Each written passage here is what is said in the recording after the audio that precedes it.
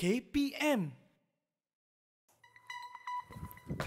Ha, sedikit teaser yang apa yang kita akan belajar hari ini. Huh, tak senang ni.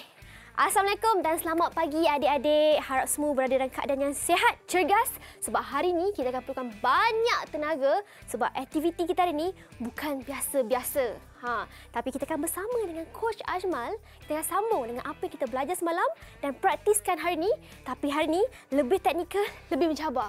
Tak percaya? Jom kita mulakan aktiviti kita hari ini.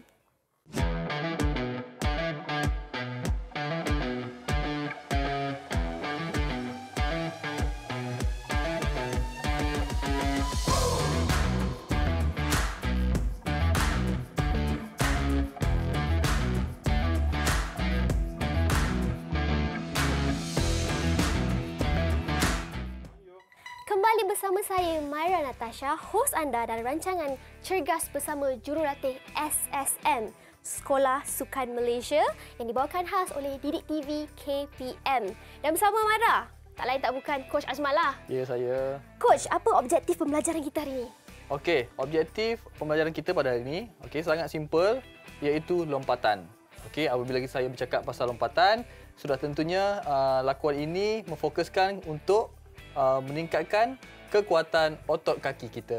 Oh, otot kaki lah ni. Hari kita Ya, lompat-lompat je. Ya, lompat-lompat je semua hari ni. Tak macam tak simple lah. Coach cakap Ah. simple tapi macam tak simple ni coach. Okey. Oh, adik-adik kat rumah tu mesti dah tak sabar ni, dah excited. Jadi jom, saya serahkan pentas untuk coach lead kita punya warm up. Okey, adik-adik di rumah, baiklah. Sekarang dah tiba masa episod yang terakhir untuk bersama dengan saya, Coach Ajmal. Jadi, Coach nak murid-murid dekat rumah semua sentiasa fokus, okey, kekal fokus untuk mengikuti program-program yang Coach akan bagi pada episod kali ini. Okey, jadi tanpa membuang masa, Coach akan tunjukkan cara untuk manaskan badan. Okey, aktiviti yang pertama adalah side squat. Okey, di mana okey, murid-murid kena buka kaki, okey, kangkangkan kaki seluas, okey, melebihi uh, luas bahu. Okey, kemudian lutut kanan bengkokkan. Okey, yang uh, kaki kiri lurus. Kemudian kembali semula. Okey, tukar kaki dan secara bergerak. Okey, jadi pergerakan yang perlu dibuat adalah kiri, kanan, kiri, kanan. Okey, jadi untuk memanaskan badan, macam coach cakap sebelum ni, sentiasa lakukan lakuan yang bergerak, dinamik, sentiasa bergerak. Okey, jadi seterusnya saya menjemput atlet-atlet saya untuk lakukan aktiviti side squat. Okey, boleh? Okey, mulakan dari arah kanan. Okey. Okey, ready? Satu, dua, tiga. Go. Satu, dua, tiga, empat, lima, enam, tujuh, lapan. Okey, bagus semua. Okey, terima kasih. Jadi, itulah sebersedikit warm, aktiviti warm up yang pertama coach nak tunjuk dekat murid-murid semua.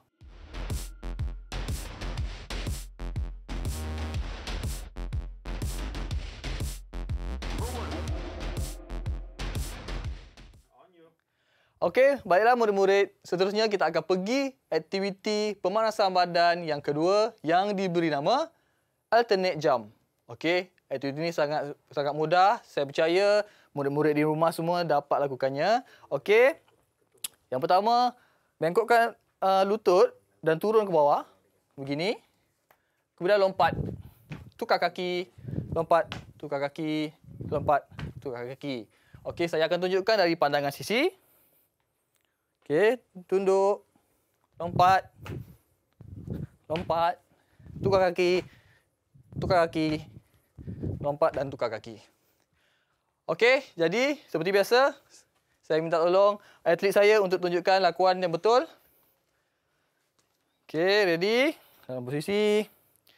Okey, satu, dua, tiga. Satu, dua, okey, good. Tiga, empat, lima, enam, tujuh dan lapan. Okey, terima kasih. Bagus sekali semua. Okey, jadi begitulah bagaimana aksi ataupun aktiviti memanaskan badan dilakukan.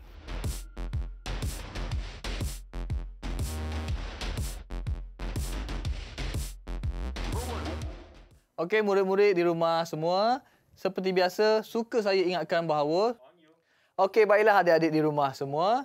Jadi, selepas kita sudah habis melakukan aktiviti, suka untuk saya ingatkan uh, supaya mementingkan aspek keselamatan apabila anda melakukan aktiviti.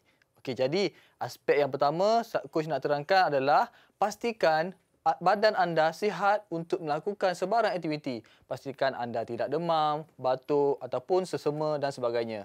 Supaya uh, bila anda lakukan aktiviti, penyakit anda tidak akan menjadi lebih teruk. Okey.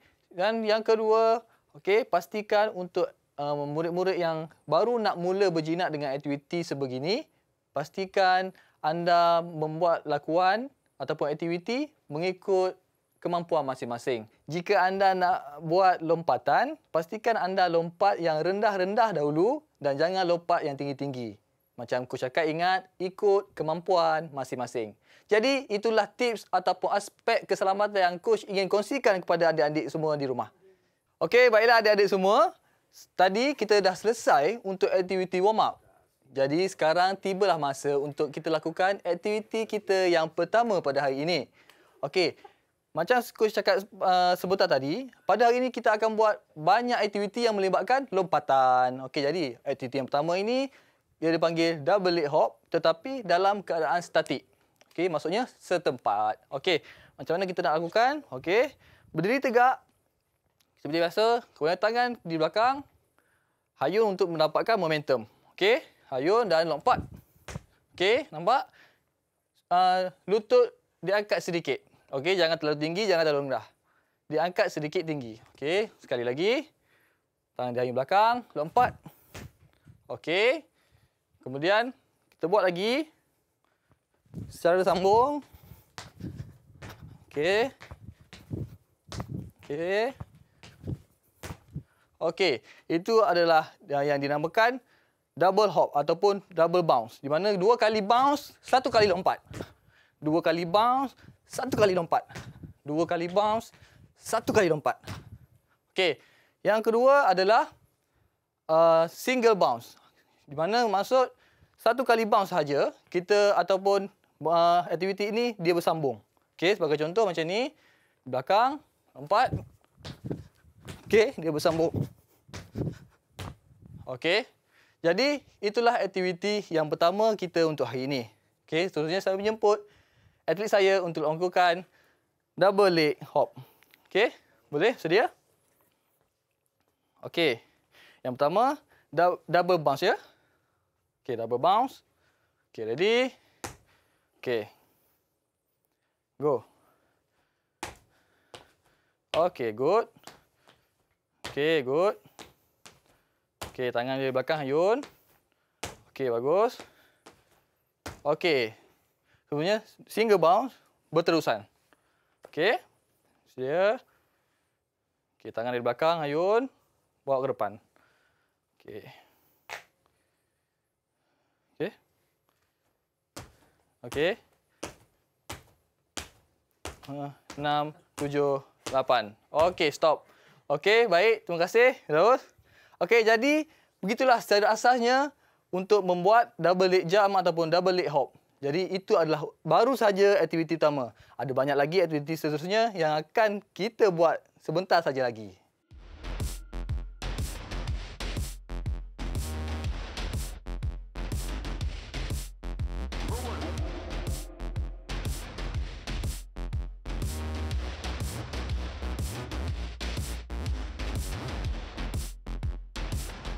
Okey, baiklah murid-murid semua. Okey, diharap murid-murid masih lagi bersama coach tetap fokus untuk latihan kita pada hari ini. Okey, seperti biasa untuk latihan seterusnya masih lagi aktiviti yang sama, double leg hop tetapi kali ini kita menggunakan mini hurdle pula. Okey, macam mana cara dia? Mari gua tunjukkan. Okey. Semua fokus. Okey, sekarang yang pertama kita akan membuat double leg hop tetapi dengan dua kali bounce ataupun dua kali lantunan. Okey, macam mana? Saya akan tunjuk. Okey, lompat. Okey, lompat lagi, stop. Lompat lagi, stop. Kemudian lompat lagi. Okey. Sekali lagi saya akan tunjukkan. Lompat. berhenti sekejap, kemudian lompat lagi. Berhenti sekejap, kemudian lompat lagi. Berhenti sekejap, kemudian lompat lagi. Okey, itu bermaksud uh, double bounce. Maksudnya dua kali lantunan. Okey. Yang kedua adalah single bounce uh, ataupun maksud satu saja lantunan yang berlaku di antara mini hurdle. Okey. Saya akan tunjukkan caranya. Okey, bersedia? Okey. Saya akan tunjukkan sekali saja lagi. Okey, bersedia untuk buat lompatan. Okey, baiklah. Seperti biasa, saya akan meminta atlet saya untuk melakukan lakuan uh, double leg jump menggunakan mini hurdles. Okey, mula-mula kita akan buat dua lantunan ataupun double bounce. Okey? Okey, ready? Sedia? Okey, good. Yes. Okey, bagus. Okey, sekali lagi. Okey, go. Okey, good. Teruskan. Teruskan. Jump. Okey, good. Okey, sekarang Izwa. Okey, saya nak awak buat uh, double leg jump tetapi dengan single bounce ataupun satu lantunan. Okey, boleh? Okey, bersedia. Go. Good. Okey. Bagus. Okey, jadi murid-murid di rumah, begitulah uh, secara asasnya bagaimana kita melakukan double leg jump menggunakan mini hurdle.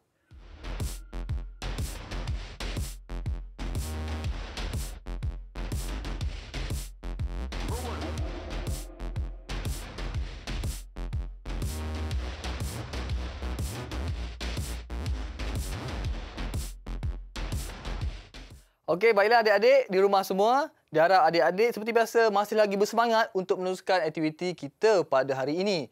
Menandangkan aktiviti kita semakin mencabar. Jadi adik-adik perlu terus fokus dalam melakukan latihan. Okey, untuk aktiviti kali ini, saya akan menggunakan single leg ataupun satu kaki saja. Kalau tadi kita guna dua kaki untuk melompat, tapi untuk kali ini, saya akan menggunakan satu kaki untuk melompat. Okey, Sebagaimana contoh je. Okey. Yang pertama, angkat kaki kiri. Okey. Lompat menggunakan kaki tangan eh, kaki kanan tetapi dalam dua lantunan. Okey, sebagai contoh. So, tu. Tu. Satu. Okey. Saya akan tunjukkan dari pandangan sisi. Okey. Satu, dua, empat. Satu, dua, empat. Okey, itu untuk aktiviti yang pertama. Untuk aktiviti yang kedua ada lagi menggunakan kaki yang sama, cara yang sama tetapi berbeza bilangan lantunan. Okey, sekarang kita akan buat single bounce di mana aktiviti ini akan menjadi uh, satu aktiviti yang berterusan. Sebagai contoh saya akan tunjukkan. Okey. Sedia angkat kaki, dah lompat secara berterusan. Okey. Okey, saya menjemput atlet saya untuk melakukan aktiviti ini. Okey, baik. Dah bersedia? Okey, kita buat double bounce dulu. Okey. Okey, ready? Bersedia? Okey, mula. Okey, bagus. Okey, good. Okey. Lima. Okey.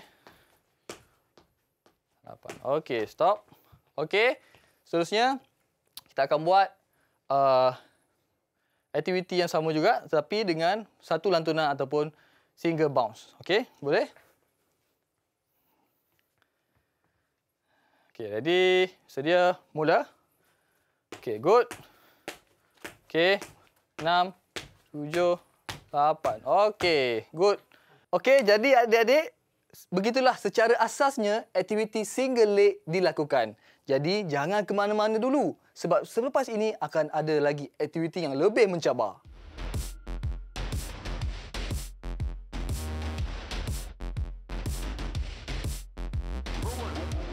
Okey, baiklah murid-murid di rumah. Coach Ajmal harap kamu semua di rumah masih lagi bersemangat dan bertenaga untuk melakukan aktiviti yang terakhir kita pada hari ini.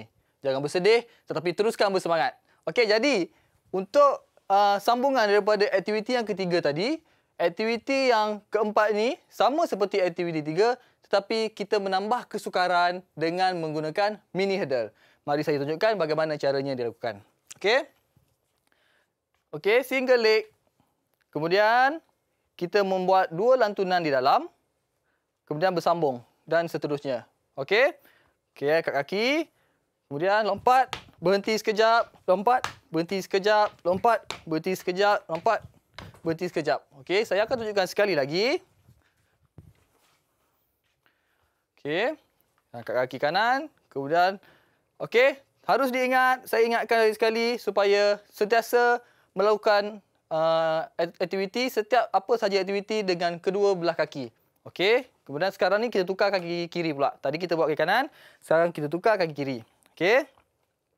Okey, lompat. Berhenti sekejap. Lompat. Berhenti sekejap. Lompat. Berhenti sekejap. Dan lompat. Okey. Jadi begitulah secara asasnya bagaimana aktiviti ini dilakukan. Seperti biasa, saya akan menjemput atlet saya yang sangat hebat untuk melakukan aktiviti kita pada hari ini. Okey, Rizwa bersedia? Okey. Okey, jadi Rizwa, Coach nak awak buat uh, lompatan dengan dua lantunan dulu. Okey, menggunakan kaki kanan. Okey. Jadi, go. Okey, berhenti, stop. Okey, sambung, stop, sambung. Okey, good. Okey. Sekali lagi. Okey, bagus. Bagus. Okey, bagus. Okey, sekarang coach nak awak semua uh, awak buat dengan satu lantunan. Okey? Boleh? Okey, good.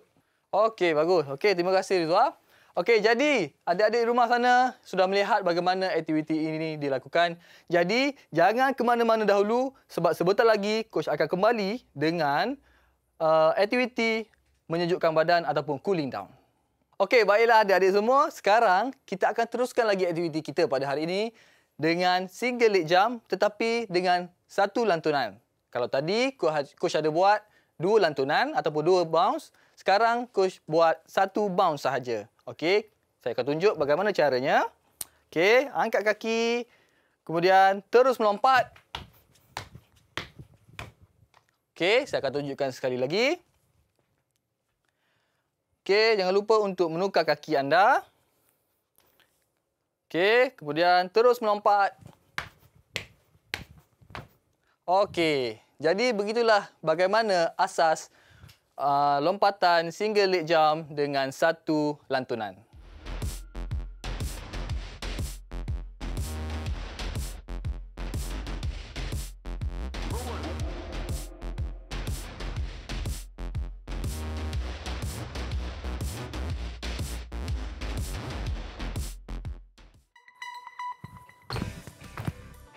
Ha, daripada episod pertama, Mara dan Coach saya tekankan kepada adik-adik yang kita perlu bersenam. Tapi sebenarnya kan, kenapa kita kena bersenam?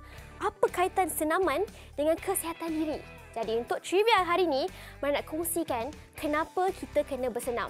Yang pertama, bagusnya terhadap kesihatan kita adalah dengan bersenam, dia akan bantu pengaliran darah daripada badan kita ke otak. Dengan ini, kita dapat menjadi pelajar yang lebih baik. Macam mana tu? Bila darah kita mengalir dengan lancarnya dalam badan kita, otak kita akan berfungsi dengan lebih celik. Jadi kita akan dapat membaca buku dengan lebih fokus. Selain daripada itu, sebagai seorang pelajar, kita juga akan dapat tidur dengan lebih lena, lebih nyenyak. Jadi esok tu, pergi sekolah lagi fokus, lagi bertenaga. Dan yang kedua, bersenam bukan saja bagus untuk adik-adik tapi untuk keluarga kita juga. Sebab dengan bersenam, kita dapat mencegah pelbagai penyakit. Sebagai contoh, penyakit jantung, penyakit stroke dan macam-macam lagi.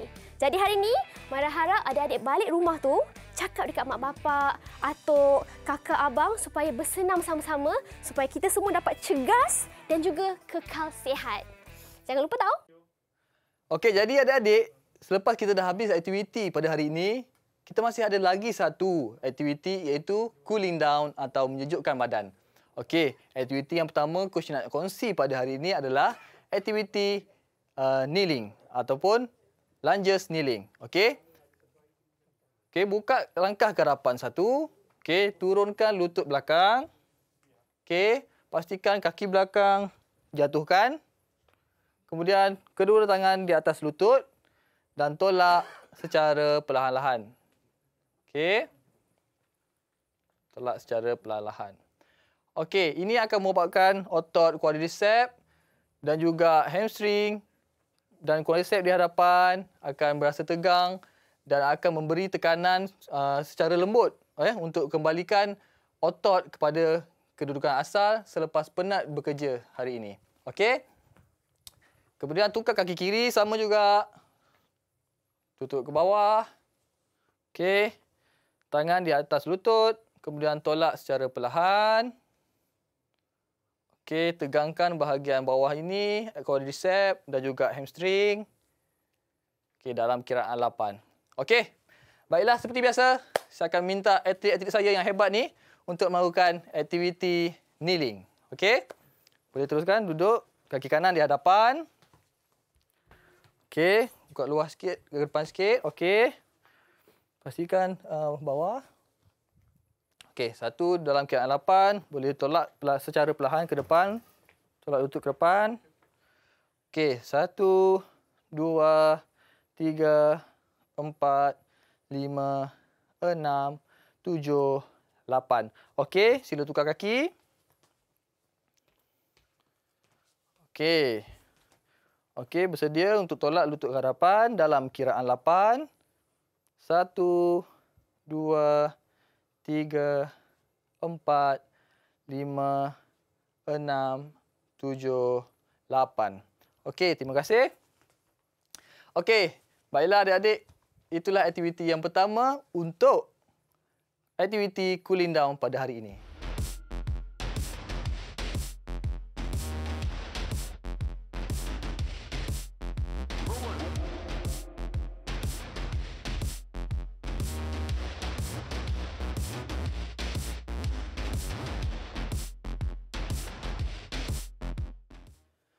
Okey, baiklah adik-adik. Seterusnya, aktiviti yang kedua untuk cooling down kita pada hari ini sangat-sangat mudah, sangat-sangat senang di mana semua orang boleh lakukan ini. Okey, aktiviti ini adalah aktiviti menarik nafas. Okey, caranya mudah saja. Yang penting anda perlu tarik nafas melalui hidung dan hembus keluar melalui mulut. Okey? Kita saya tunjuk. Okey, tunduk, tarik nafas. Tahan selama 5 saat. 1, 2, 3, 4, 5. Kemudian hembus secara perlahan. Kemudian tarik lagi. Tahan 5 saat. 1, 2, 3, 4, 5. Dan hembus melalui mulut.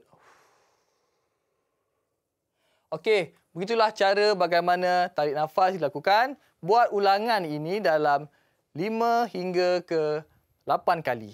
Okey, seperti biasa, saya akan minta atlet saya untuk lakukan aktiviti tarik nafas. Okey, bersedia semua? Okey. Ready? Okey, boleh mula tunduk. Okey, tarik nafas. Okey, tahan 1 2 3 4 5. Hembus melalui mulut dan tunduk. Sekali lagi tarik.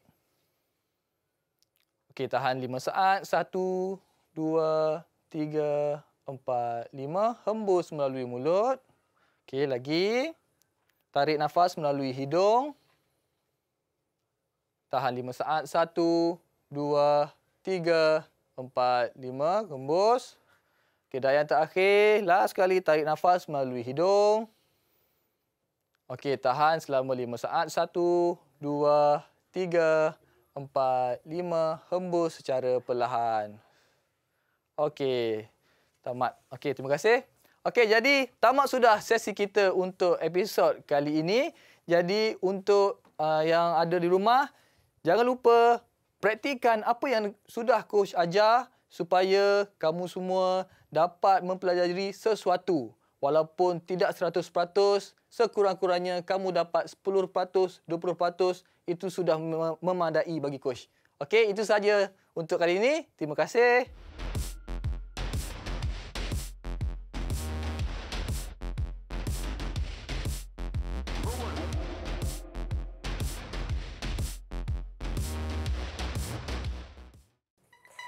Ya adik-adik, inilah episod terakhir untuk Coach Azmal bersama kita. Satu tepukan untuk Coach Azmal, Aizat dan Firdaus. Yeay. Terima kasih sebab dah ajar adik-adik macam-macam aktiviti yang menarik dan juga dah teman Maira untuk lima episod. Tapi Coach, sebelum tu, ada tak kata-kata terakhir lah untuk adik-adik kat rumah kita? Okey, kata-kata terakhir saya adalah uh, sangat senang. Saya pegang ni di mana saja saya pergi, saya pegang kata-kata ni. Okey, di mana dia berbunyi, jangan pernah penat untuk berhenti belajar dalam apa juga bidang ilmu. Maksudnya jangan berhenti belajar apa saja ilmu yang kita dapat kita ambil. Itu sahaja kata-kata saya untuk anak-anak semua di rumah. Ingat tak tu adik-adik? Ingat tahu kata-kata coach ni. Dan untuk episod seterusnya, esok Myra akan bawakan lagi seorang jurulatih yang memang bukan biasa-biasa, yang memang hebatlah untuk ajar kita macam-macam lagi aktiviti baru untuk adik-adik semua di rumah. Semua ni hanya dalam Cergas bersama coach Practice Make Progress. Bye, jumpa esok.